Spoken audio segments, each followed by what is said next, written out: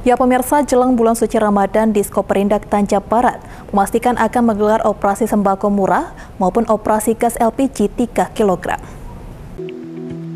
Setiap tahunnya pemerintah kabupaten melalui Disko Perindak Tanjab Barat kerap menggelar operasi pasar sembako dan gas LPG 3 kg.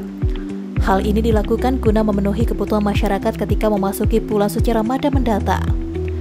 Kabit Perdagangan dan Pasar Disko Perindak Tanjab Barat Marhali mengatakan, pada momen hari besar terutama jelang bulan suci Ramadan mendatang, memang menjadi tupoksi bagi Disko Perindak untuk menggelar operasi pasar sembako maupun operasi pasar gas 3 kg. Sedangkan untuk jadwalnya sendiri akan melihat situasi dan kondisi, namun akan tetap dilakukan jelang bulan suci Ramadan atau minimal satu minggu jelang Ramadan.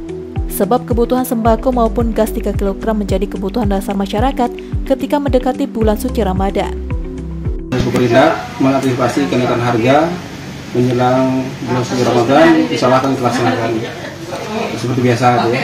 Kemudian eh, komunitas yang kita fokusnya ya. fokuskan juga antara beras, cabai, kemudian minyak, gula dan telur. Kemudian untuk selanjutnya juga nanti menjelang puasa ini eh, juga akan melaksanakan eh, untuk operasi pasar gas untuk 3 kg Mm-mm. untuk memenuhi kebutuhan masyarakat.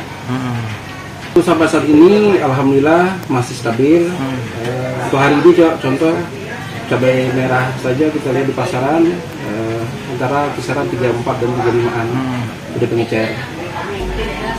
Meski demikian, Marhalim optimis harga sembako maupun gas 3 kg dinilai aman, terutama jelang Ramadan.